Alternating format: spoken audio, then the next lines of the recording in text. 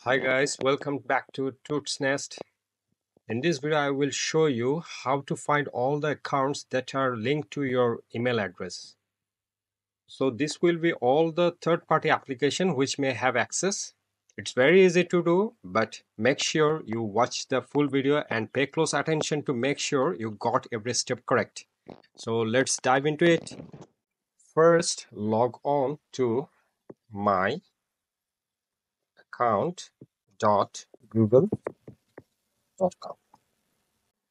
So you should be greeted with a page look like this one.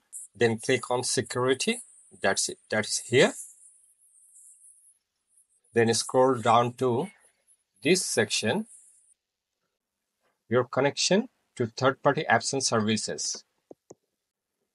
Then click on see all connection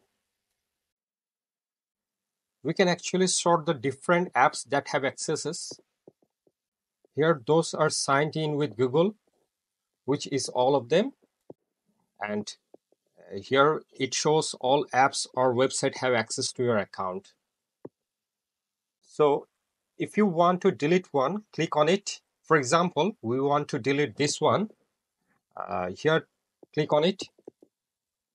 Then scroll down to delete all collection that you have with this company.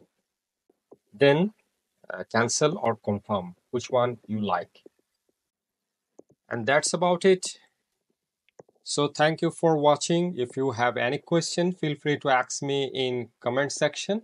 If you enjoyed the video and found it helpful, please consider to subscribe our channel. See you in the next video.